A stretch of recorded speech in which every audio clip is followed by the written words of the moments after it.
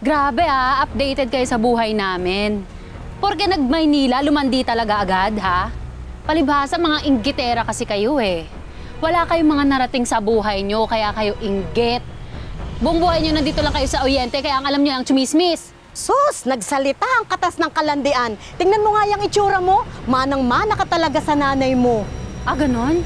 Oh, pwes, tingnan natin yung itsura mo. Yan, yung pagmumukha mo. Yan ang babagay sa'yo, ang kapal ng mukha mo. Nanay ko ng ganon, ako talaga makakatapat mo. Hayop ka, ang kapal ng mukha mo na ganonin, ha? Hoy, ano sabi mo tungkol sa nanay ko? Ha? Ano? Sige, sige, lumapit ka sa akin, lumapit ka sa akin. Kayo ha? Kayong dalawa kayo ha? Mga matatanda na kayo, ang kapal ng mukha nyo, nagkumalat pa ng chismis tungkol sa nanay ko? Ano?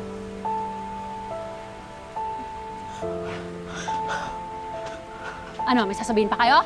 Ha?